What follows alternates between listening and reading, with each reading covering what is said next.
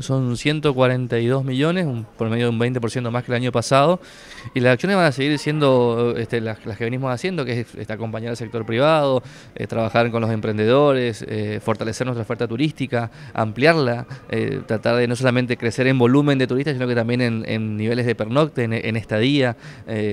bueno, son, son todas las previsiones que, tenemos armadas, también hay algunas que están destinadas para, algunas obras que hacemos junto con Nación, que esperamos lo podamos seguir haciendo.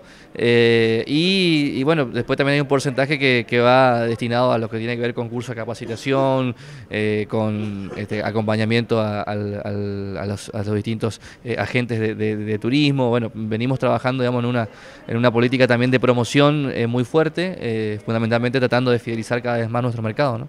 ¿Cómo creen que va a impactar este nuevo contexto económico? Tal vez más propicio para que vengan turistas de afuera, pero más difícil también para el turismo interno.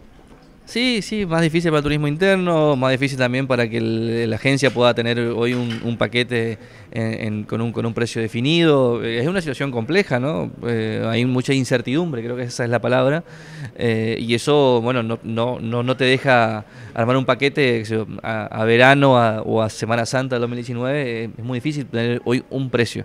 Y el mercado del turismo se mueve con mucho tiempo de anticipación. Somos una industria que, que cuando, cuando vamos a una promoción eh, ahora estamos yendo, por ejemplo, a Montevideo a promocionar el vuelo de, que viene de Europa. ¿Y, cuál es el paquete para las cuatro, los cuatro días de misiones?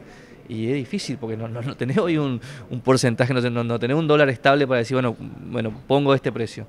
Eh, o, pongo, o pongo este precio en, peso o este precio en dólar. Entonces, eh, pero si se acomoda y se, se queda como se, se, ameseta, digamos, esta situación, bueno, yo creo que, que sí nos va a favorecer en el mercado internacional.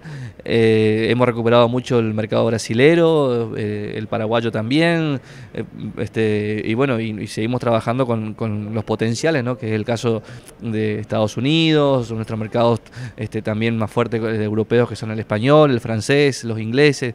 Así que este, todo eso eh, está dentro también del, presupuesto y, de qué manera podemos hacer pequeñas acciones de promoción, fundamentalmente online, que son las, más económicas, digamos, y que las que las que impactan más rápido. ¿Tienen información de qué está pasando con la obra en Iguazú, la obra del aeropuerto, me refiero?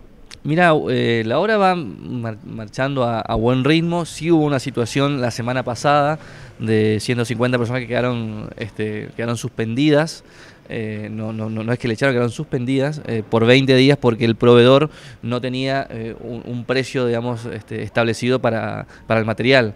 Entonces no enviaba el material y tenían los obreros y bueno, entonces por esa situación la empresa decidió este, suspender por 20 días a, esos trabajadores. Pero bueno, este, a pesar de la situación, el resto de la obra sé que están marchando a buen ritmo y, bueno, esperemos que esto se regularice. También tiene una situación económica, o sea, más allá que queremos que el aeropuerto se termine rápido para tener más rápido los vuelos, queremos que también que esta gente siga trabajando y por eso es importante que se estabilice el dólar, que se estabilice la economía y que, y que podamos este, funcionar, digamos, de, la mejor manera. ¿Cómo ven este cambio que hubo en Nación, este paso del Ministerio de Turismo a Secretaría? ¿Cómo creen que eso pudiera afectar al turismo del país? Mira, eh, no, no, nos, no, no fue grata la, noticia, no, no, no, no fue algo que nos, que nos, que nos cayó bien. Eh, yo lo conozco personalmente a, Gustavo, eh, a él, a, su equipo, sé de su ímpetu, de su ganas, de su trabajo, de su militancia por el turismo eh, y, sé de que, de que quizás en, un, en una persona como Gustavo eso no, no, nos va a afectar tan directamente, pero sí es un secretario, o sea, ya dejó de ser tener la representatividad ministerial, tener, o sea, el Estado le da importancia a las actividades por eh, este, la situación que la, que la pone digamos, dentro de su estructura administrativa. Hoy es una secretaría. Eh, depende del presidente o va a depender del presidente. Bueno, eso quizás este, eh, sea distinto digamos, a, otras, a otras secretarías que tiene el gobierno nacional, pero, pero sí no, no, no fue buena la noticia para todo el sector. Mm, la Cámara Argentina de Turismo se expresó en eso, nosotros como Consejo Federal de Turismo también nos expresamos. Eh, hay una preocupación, digamos, de que fundamentalmente los presupuestos no desde nosotros digo, no, no, no nos afecten, las promociones internacionales, esperamos que, que se puedan seguir cumpliendo. Eh, y bueno, eh, este, seguir trabajando para que más allá de donde esté el rango del turismo, eh, siga siendo una política de Estado. Creo que eso es lo más importante. ¿Cómo están viendo los números de, la temporada desde este año, ¿no? de, turismo, no solo en Imosú, sino en el resto de los atractivos de la provincia? Nosotros tenemos un incremento del cerca del 10% de arribos a la provincia de Misiones al corte de hoy con respecto al año pasado. Eh, estamos este, en un, cerca de un 10% más que el, año pasado. Eh, eso, bueno, este, eh, y, también notamos eh, que, hemos podido consolidarnos hoy como un destino de vacaciones, un destino vacacional. Digamos. Misiones siempre fue eh, el full day eh, o los dos días, o la posada Ciudad de Paso. hoy, hoy Misiones es en el verano y en el invierno sostuvo los índices de pernocte, estamos en cinco noches de pernocte. así que eso vemos muy bien.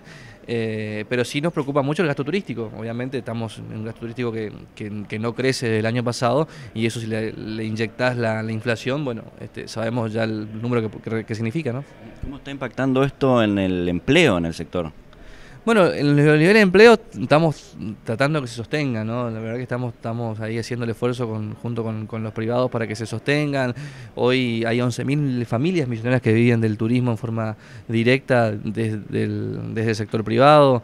Eh, este, venimos trabajando en, distintos incentivos también para los emprendedores, que te decía hoy, para, dentro de lo que son los, distintos créditos. Eh, estamos trabajando con el Fondo Misionero de, Crédito para la, incubadora de, proyectos turísticos. Eh, bueno, estamos haciendo, digamos, lo que, lo, que, lo que tenemos que hacer, lo que podemos hacer en esta situación tan compleja y tan difícil de lo económico. Pero esperemos que el empleo se mantenga, esperemos de que, eh, este, que cada vez más la gastronomía, por ejemplo, es un, un, un, condimento muy fuerte que tiene el turismo, un, valor agregado que, bueno, que, que, sigue creciendo y, bueno, y eso también nos consolida como, como destino turístico.